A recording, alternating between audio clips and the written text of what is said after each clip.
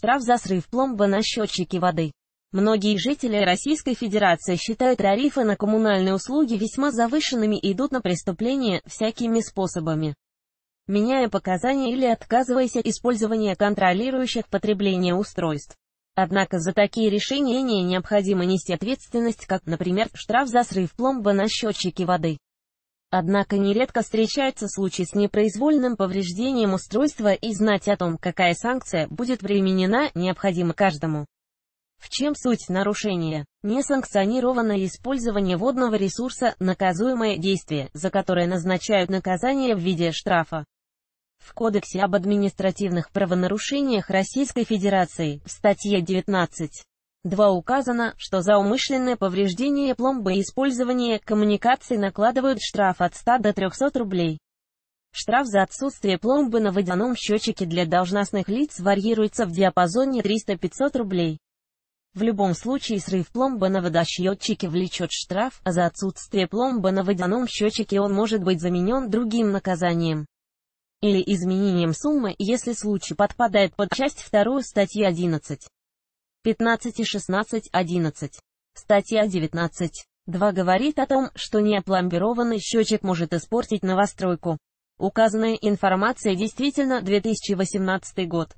Оштрафовать пользователя можно лишь в том случае, если доказать умышленность действия. Сорванная пломба на счетчике воды. Важно, Москва и Санкт-Петербург отличаются по размеру штрафа. Здесь штраф за сорванную пломбу на счетчике воды может достигать 30 тысяч рублей. Срывы пломб из неосторожности. Повредить электросчетчик и прибор для контроля за использованием воды можно случайно. Это часто происходит, если в доме есть маленькие дети или ведутся ремонтные работы. В таком случае пользователь обязан зарегистрировать подобное нарушение и сообщить, что необходимо дополнительное пломбирование. Если не временить с этими действиями, последствия не будет связанным со штрафной санкцией. Единственные затраты в таком случае – расходы на установку новой пломбы. Дополнительные санкции. Если вовремя не опломбировать счетчик повторно и не известить водоканал о срыве пломбы, последствия могут быть более серьезными, чем просто штраф. В России за такое действие можно встретиться со следующими проблемами. Пересчет суммы к оплате, исходя из количества использованного ресурса. Особенно тяжело приходится собственникам ИП, которые срывают пломбу и устанавливают антимагнитный прибор для экономии. Судебное разбирательство. Взыскание суммы задолженности из заработной платы. Опечатывание и продажа имущества для погашения долга. Что нужно знать о счетчике? Кто и как может насчитывать штраф? Штрафные санкции наступают после обнаружения сломанной пломбы на счетчике. Обнаружить нарушение может контролер, который сверяет показания прибора и указанные данные при оплате коммунальной услуги. В таком случае нарушение фиксируется и пользователю приходит уведомление о необходимости внести штраф. В правилах предоставления коммунальных услуг П. 62 указано, что сотрудник должен произвести следующее действие при выявлении нарушения, приостановить использование прибора, произвести расчет за оказанные услуги и использованный ресурс, Обратите внимание, обычно принимается во внимание период с момента срыва пломбы до нового пломбирования. Назначение штрафа сотрудникам водоканала за срыв пломбы. Как приходят извещения о санкции. Обычно пользователь знает о штрафе с момента выявления нарушения.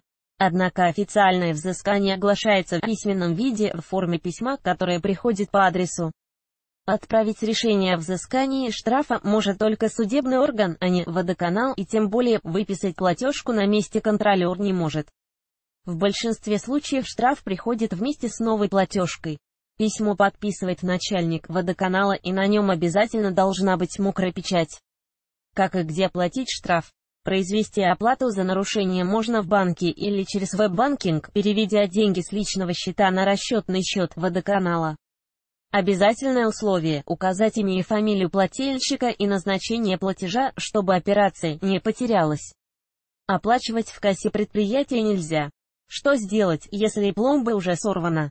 Если повреждение пломбы произошло по неосторожности, чтобы избежать штрафа необходимо произвести следующее действие – зафиксировать дату и время повреждения пломбирования.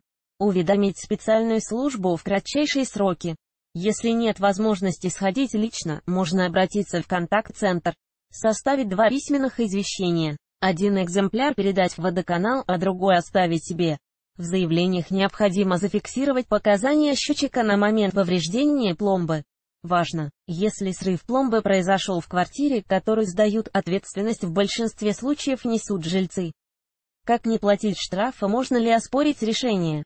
Если пользователь не согласен со штрафной санкцией, он может оспорить решение суда, подав апелляцию. В таком случае необходимо предоставить доводы о неумышленности повреждения. Например, доказать, что пользователь вмешивался в работу счетчика, если на нем нет никаких сторонних приспособлений, например, магнитов, невозможно.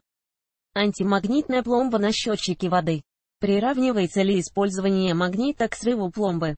На разных интернет-ресурсах рекламируется масса объявлений о том, что можно снять пломбу без следа или установить специальный антимагнитный прибор для блокирования.